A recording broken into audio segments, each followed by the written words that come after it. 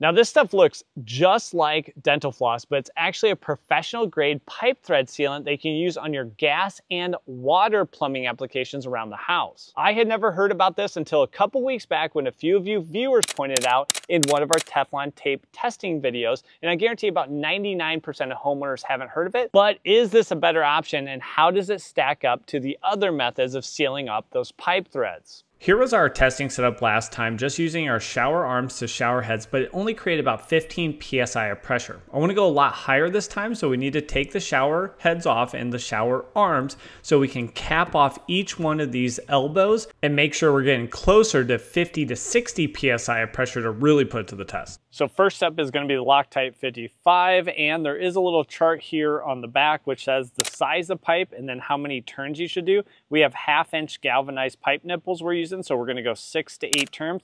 Remember, that should be in the clockwise direction. Most of the other products you'll use on threads like this are a Teflon base. This one is actually a polyamide thread and it's coated with Loctite's proprietary paste. What's that paste made of? I don't know, but we'll see how good it works here on the first of our four circuits.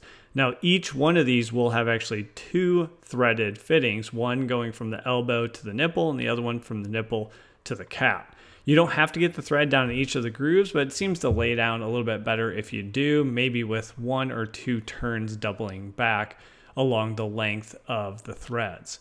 Next up is just standard Teflon tape, again, clockwise direction. Number three is a premium Teflon tape, and that is Blue Monster, which has performed well in the past. And the last one was my favorite from our last test, and that is Teflon tape with the pipe dope or the thread sealant on the outside. And kind of that combination is preferred by about a third of our audience in the past. So now we're ready to test and we will not have flow like we did last time. Now we're just gonna be pressurizing and capping all these off and I wanna get close to 60 PSI. I had to do a little adjustment at my well and I did notice that the on off switch that turns on the well pump was set pretty low. So with a little bit of adjustments, we went ahead and we were able to get that up to close to 60 PSI and then at our test stand, you can see we're right over 60 PSI. So now we'll pressurize things for 30 minutes and see where do we have the failures. So we've been running for about an hour and just confirming we were holding the pressure the whole time.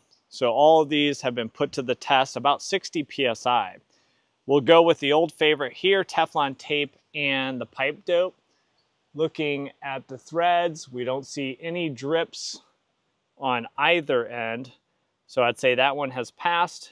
And then for the blue monster, you guys will see links in the description, or you can just scan this QR code if you're watching on your TV for references to each of these products. And that one looks good for the blue monster.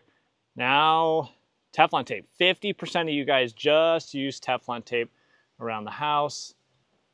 That is not looking good. And we have a drip at the bottom. So we have a slow leak, kind of a classic leak, especially at the shower arm fitting. That is a classic DIY mistake, just using Teflon tape and having a hard time sealing up the shower arm. And then our Loctite 55, the new competitor. How's it stack up?